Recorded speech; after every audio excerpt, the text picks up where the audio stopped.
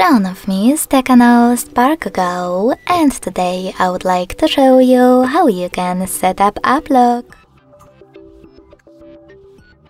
You need to begin by opening Devices Settings and scrolling down to access Security. After that, scroll down again, click on AppLock and create a pattern that you will use to lock your apps. Repeat it in order to confirm it.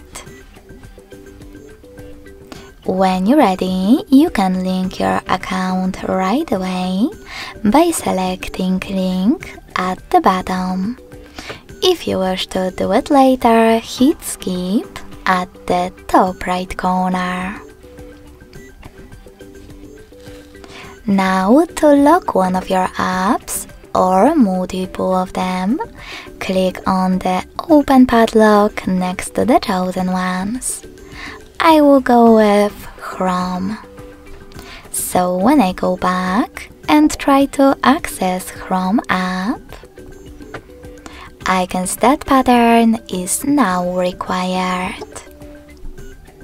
To disable app lock from one of your apps, go into exactly the same settings.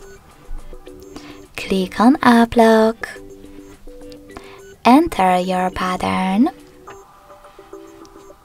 And click on no close padlock next to your app.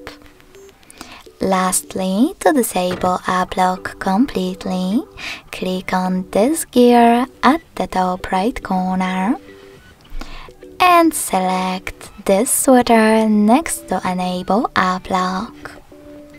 After that, select turn off in the pop-up.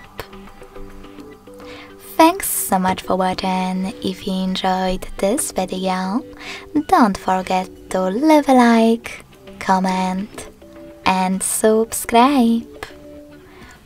Bye!